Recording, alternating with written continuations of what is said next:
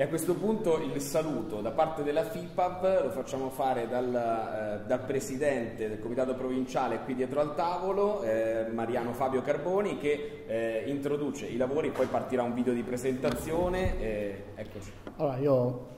ringrazio, vi ringrazio tutti quanti per essere, stati, per essere presenti qui con noi, a cominciare dall'autorità, dal delegato provinciale CONI Armando Vincendis, dall'assessore allo sport Massimiliano Bruni, nonché un carissimo amico, al presidente regionale Franco Brasile che in questo periodo ci è vicino e risponde a tutte le iniziative a tutti gli inviti che noi gli rivolgiamo. A lui poi dopo lasceremo la parola più tardi per un saluto perché, più tardi, perché ci fa piacere. Ringrazio i, gli addetti alla stampa, tutti quanti quelli per essere presenti e le società del comitato che ci hanno onorato e ci onorano della loro presenza. Perfetto, allora velocemente eh, ci spostiamo, mi sposto alla console del computer perché mi lancio apertura che introduce un po' i risultati del 2014 per proiettarci dal 2014 verso il 2015.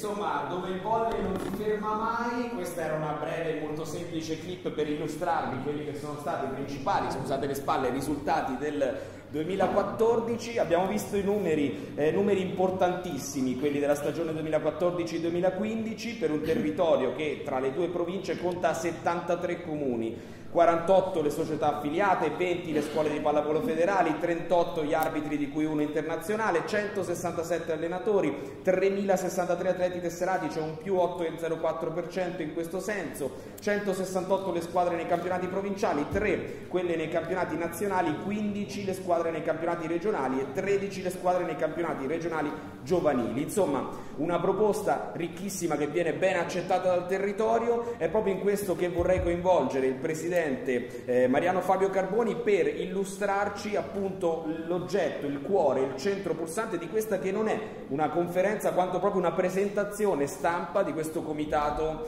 al, ai giornalisti e al territorio. Allora Mariano illustraci, Fabio illustraci pure. Allora, il, ehm, il comitato ha preso, ha preso il via, diciamo, si è insediato ufficialmente il 22 di dicembre con l'elezione del nuovo Consiglio, avvenuta dopo un periodo di commissariamento a cui era stato sottoposto il Comitato da, mar- da febbraio 2014 a tutto novembre 2014.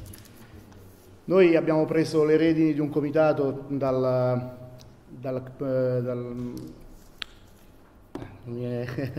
dal commissario, un comitato sano, un comitato che lui ha tenuto in vita, che lui ha portato avanti con l'aiuto di tutte le commissioni che fino a quel momento hanno operato, quindi a loro va al commissario federale nonché delegato nazionale Marco Paolini per il nostro ringraziamento, il ringraziamento più personale del vicepresidente e di tutto il Consiglio. E da lì abbiamo cominciato, siamo stati eletti il 22, siamo stati tenuti a battesimo e perciò l'abbiamo voluto fortemente qui con noi dal delegato provinciale del CONI Armando Vincenzi, perché quel giorno, il giorno delle elezioni, era lì con noi, quindi per noi è un pochino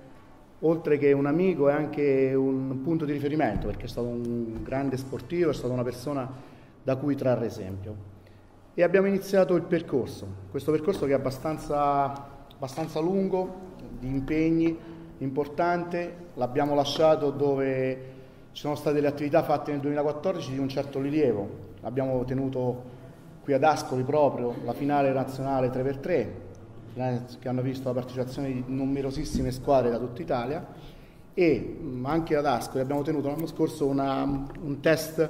juniores, della nazionale juniores nella palestra di Monticelli della nazionale contro la Polonia se non sbaglio. E quindi sono stati due avvenimenti importanti che hanno dato seguito a tutto il lavoro svolto fino a quel momento e da lì ricominciamo perché comunque abbiamo delle attività in cantiere veramente importanti e impegnative.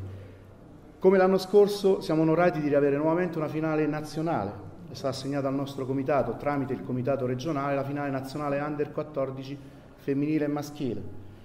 La discuteremo sul territorio della, prov- della provincia di Fermo, Fermo per l'esattezza la sede principale sarà Porto San Giorgio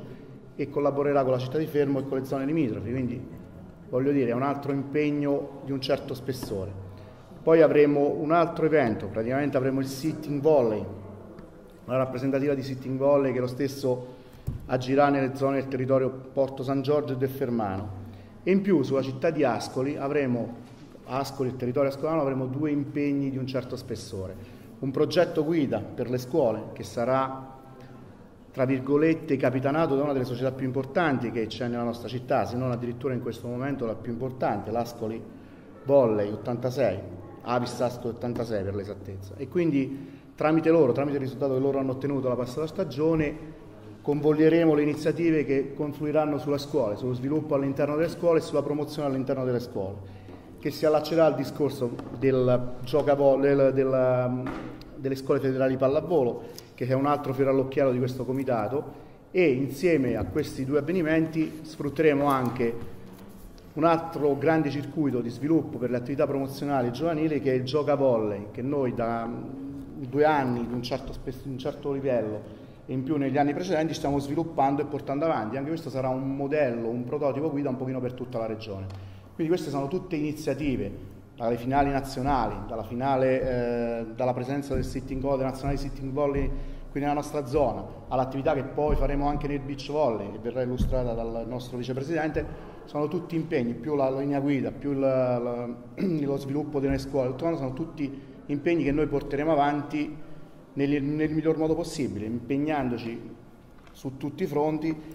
cercando di fare nel nostro meglio e cercando di sviluppare in tutti i livelli, a tutti i settori, la pallavolo perché comunque, come diceva l'assessore, nella nostra provincia, nella provincia di, nelle province di Ascoli Piceno e Fermo la pallavolo unisce. Anziché dividere come è stato in passato, la pallavolo unisce. Quindi siamo orgogliosi di aver tenuto in vita questo comitato, siamo orgogliosi di